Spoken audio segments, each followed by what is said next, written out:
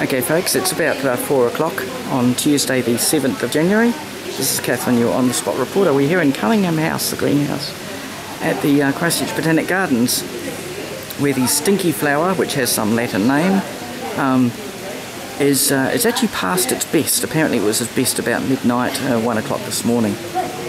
And I've just stood in the queue for a little over an hour and uh, not just that's most of the queue is to get in the greenhouse.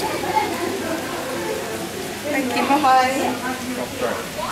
bye.